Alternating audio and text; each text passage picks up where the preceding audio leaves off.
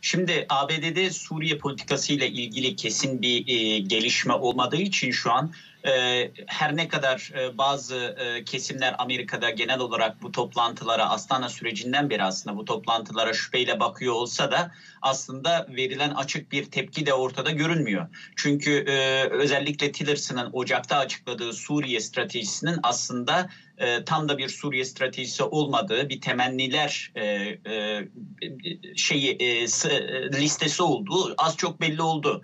Birkaç haftadan beri özellikle Tillerson'ın görevden alınması, daha sonra ulusal güvenlik danışmanının görevden alınması bunlar şu an tüm e, oyunu değiştirmiş durumda Washington'da. Washington'da bundan sonraki dönemde asıl önemli olacak yeni göreve gelecek Bolton'la Pompeo'nun yeni bir Suriye stratejisi üzerinde anlaşıp anlaşamayacağı ve bu anlaştıkları Suriye stratejisinin şu an operasyonel anlamda Suriye politikasını yönlendiren askerle yani Pentagon'la e, nasıl bir uyuş uyuşma halinde olacağı olacak. Çünkü e, biliyorsunuz uzun süredir burada Washington'da yapılan her canlı bağlantıda, yapılan her yorumda şunu söylüyoruz. Washington'da şu an özellikle sivil e, iradenin ortada Suriye politikasında olmadığı için ve ortada büyük uzun vadeli bir Suriye stratejisi olmadığı için operasyonel anlamda e, DAEŞ'la mücadele için oraya gönderilen askerler genel olarak e, Amerika'nın Suriye politikasını dahası da Amerika'nın e, bölgedeki müttefikleriyle ilişkisini şekillendirmeye başladı.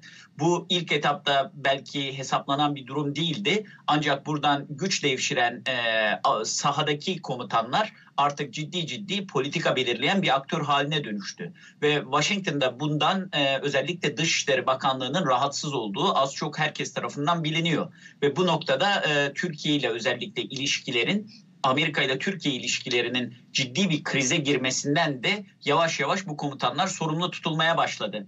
Ancak son bir haftada gazetelere yansıyan haberlere baktığımız zaman komutanların e, olası bir Suriye stratejisindeki değişiklik yani bölgeden Suriye'den çekilme veya YPG'ye desteği çekme konusunda isteksiz olduğunu ve bunu aslında sivil asker ilişkilerini ciddi şekilde tehdit edercesine açık açık gazetecilerle paylaştığını görüyoruz. Hani e, Obama döneminde biliyorsunuz Stanley McChrystal'ın Afganistan politikası hakkında Afganistan'daki ki e, Amerikan orduları komutanının böyle bir açıklaması olmuştu. Sonrasında o komutan e, Washington'a çağrılarak istifası istenmişti. Ancak e, geçen hafta yapılan açıklamalarda Stanley McChrystal'dan çok daha alt düzeyde komutanların e, Amerika'da Washington'daki Beyaz Saray'ın politikalarını e, endişeyle iz, izlediklerini ve yer yer eleştirdiklerini gördük. Ancak şu ana kadar o komutanlar hakkında da e, yapılan bir girişim ortada yok. Dolayısıyla sivil iradenin burada e, kendisinin bir Suriye stratejisi